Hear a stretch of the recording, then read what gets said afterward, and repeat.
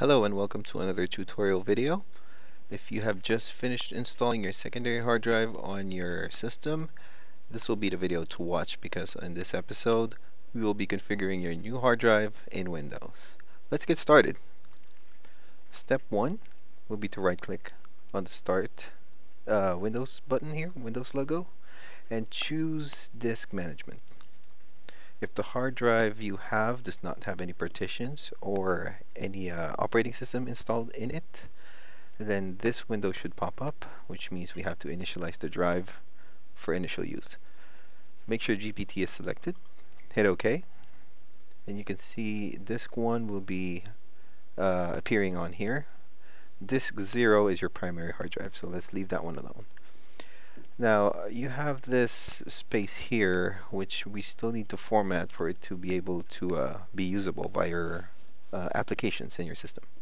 So right click on that one, select new simple volume, hit next, make sure the number up here matches the numbers down here so you make use of each and every uh, available space that the hard drive has to offer. Hit next leave this on default. Hit next. Name your drive. For example this one will be used to store games. So we'll put this as uh, game drive. Have uh, perform quick format checked. Hit next and click finish. Once the formatting is done your drive your new drive should appear immediately and um, it is ready to be read and written by your files.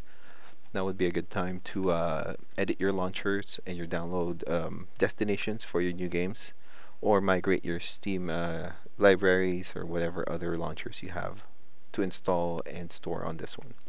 That way you have your uh, primary drive free and it's not going to be filled up with games and slow your system down that's pretty much it for this video. I hope it was helpful.